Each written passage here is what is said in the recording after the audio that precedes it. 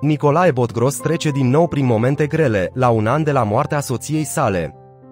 Acum artistul e din nou în doliu, iar pe Facebook a anunțat cu tristețe că a mai pierdut o persoană dragă. Cântărețul e devastat de durere. La un an de la moartea soției sale, acum cântărețul trece din nou prin momente cumplite. Unul dintre cei mai buni prieteni din copilăria artistului a încetat din viață. Cu durere, Nicolae Botgros a publicat pe pagina sa de Facebook un mesaj trist prin care anunță trecerea în neființă a marelui lăutar Anatol Ciobanașu.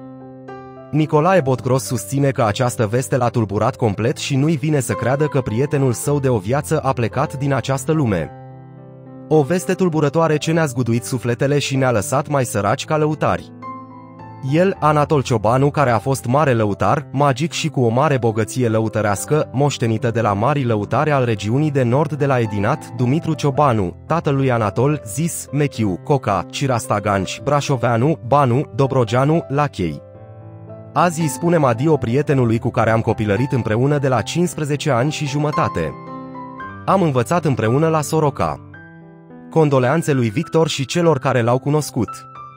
Dumnezeu să-l ierte, a anunțat Nicolae Botgros cu tristețe pe pagina sa de socializare.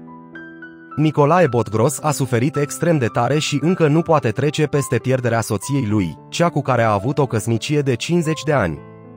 Lidia Bejenaru Botgros a murit anul trecut, după o boală cumplită de care suferea.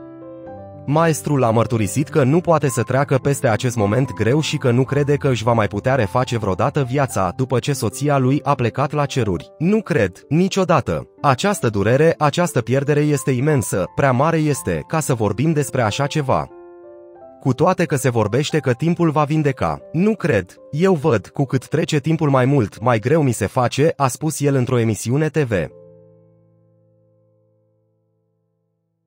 Anatol Ciobanu. Ia să vedem cine îl cunoaște. Anatol Ciobanu, cel care este peste tot, prin nu știu câte formații cântă, atât în Republica Moldova, cât și peste Prut, în România, dar bineînțeles știm cu toții unde este mai bine și unde este mai frumos, acasă. Iată, domnul Anatol Ciobanu vine astăzi să ne prezinte lăutarii de la Nord.